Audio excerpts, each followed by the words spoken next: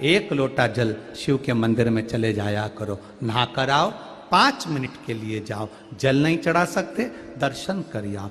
दर्शन नहीं कर सकते, दुकान जाते जाते शिखर का दर्शन कर लो। दो मिनट गाड़ी को रोककर देव अधिदेव महादेव के सामने थोड़ा मुस्कुरा दो। शिव के सामने मुस्कुरा देने पर भी अपनी समस्या का हल हो जाता है।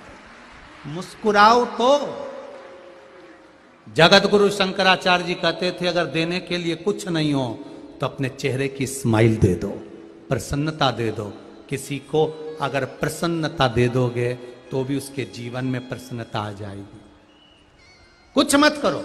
नहीं है देने के लिए? शिव जी के सामने जाना, थोड़ा सा मुस्कुरा देना। महादेव भी सोचेंगे कि कितना दुख है इसको, कितनी तकलीफ़, कितना कष्ट है, कितनी बीमारी है। इसके बाद भी मुस्कुरा रहा है तो शिव जी भी कह देंगे जा, ऐसे ही मुस्कुरा।